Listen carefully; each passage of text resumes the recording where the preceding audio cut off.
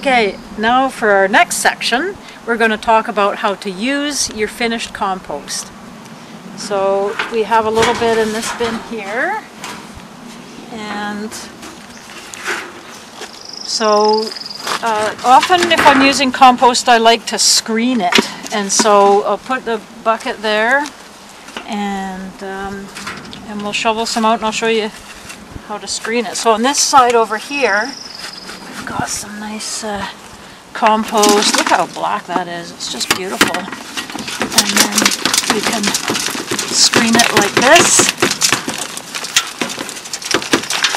And the stuff that's not composted we can toss out. And here's something interesting too. I, since we put meat in ours, you end up with this uh, some bones in there, some nice brown bones, and it's like beautiful bone meal. So you can you can uh, use that as well.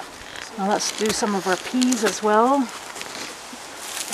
uh, so same thing, just tuck a little compost in here.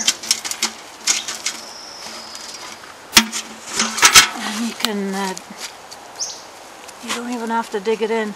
But it's nice to mulch, to cover it over with a little mulch so that it stays damp.